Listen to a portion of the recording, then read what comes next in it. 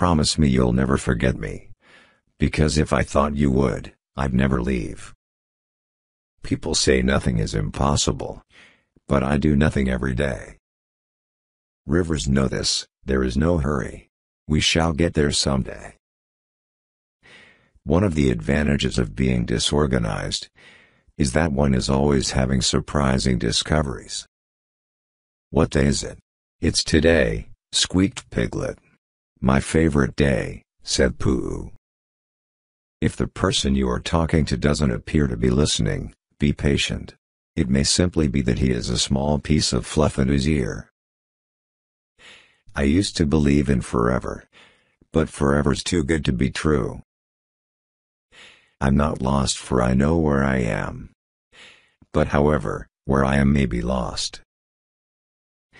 The things that make me different are the things that make me. Some people talk to animals. Not many listen though. That's the problem. Did you ever stop to think? And forget to start again?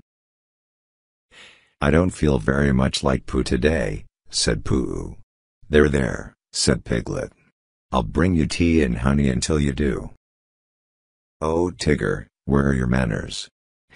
I don't know, but I bet they're having more fun than I am. Piglet noticed that even though he had a very small heart, it could hold a rather large amount of gratitude. Sometimes, if you stand on the bottom rail of a bridge, and lean over to watch the river slipping slowly away beneath you, you will suddenly know everything there is to be known. When you see someone putting on his big boots, you can be pretty sure that an adventure is going to happen.